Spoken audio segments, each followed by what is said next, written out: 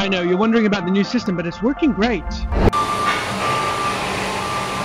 I still need to run the numbers, but uh, Er ist zwar etwa kleiner im Maßstab als in den Kundenspezifikationen, bietet aber den Kunden ein besseres Rezept.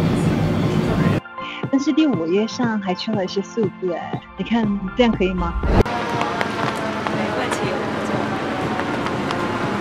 kein Problem, ich treffe Astrid zum Abendessen. Möchtest du hierher kommen? Später.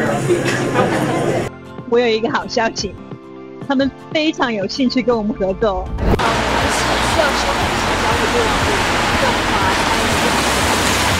No problem at all. Talk to you tomorrow.